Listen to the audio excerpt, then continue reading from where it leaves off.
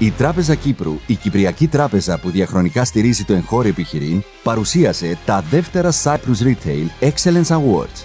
Πάνω από 200 στελέχη του λιανεμπορίου χειροκρότησαν τα βραβευμένα έργα και εταιρείες. Χαιρετισμό απίφθινε η Υπουργός Ενέργειας, Εμπορίου και Βιομηχανίας Νατάσα Πιλίδου. Η βραδιά έκλεισε με το επίσημο λανσάρισμα του Retail Newsletter από την Μπούσια Cyprus, ένα πολύτιμο εργαλείο για τους επιχειρηματίες του retail στην Κύπρο. Χορηγεί Αλάσια Boutique Hotel, Premium Gourmet Tuna Ortiz και Ψαροταβέρνα Παραγάδι. Διοργανωτής Μπούσια Cyprus.